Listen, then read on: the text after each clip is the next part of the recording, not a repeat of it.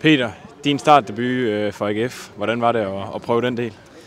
Det var, øh, det var rigtig fedt. Øh, det er noget, jeg har, har trænet for lige siden jeg kom. Øh, at være med fra start øh, og prøve rigtig at spille på stadion. Øh, så det var, det var selvfølgelig fedt. At der kunne se, at, at der var mulighed for, at jeg måske skulle spille, også fra fraværet af Duelund. Så, så jeg har hele tiden gået og forberedt mig på det. Øh, men altså, da, da, da jeg ligesom fik bekræftelsen i går, der, der blev jeg da bare mega glad og spændt.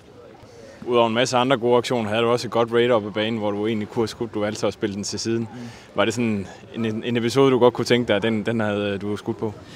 Jeg ved ikke, om jeg, havde, om jeg ville have skudt på den, men jeg ville gerne have løst den bedre. Jeg, jeg har en fornemmelse af, at der var nogen fri over den anden side også, men det gik så hurtigt, og jeg havde set, at Felix var fri, og så blev min aflevering lidt for spids, og det er bare, det er bare super irriterende, jeg mig meget over det, fordi det var faktisk en god mulighed for, at vi kunne score.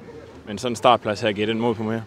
Ja, selvfølgelig. Det var, det var bare starten. Jeg vil, jo, jeg vil jo som udgangspunkt gerne spille hver gang, så, øh, så starte ind i dag, det var et kæmpe skridt fremad.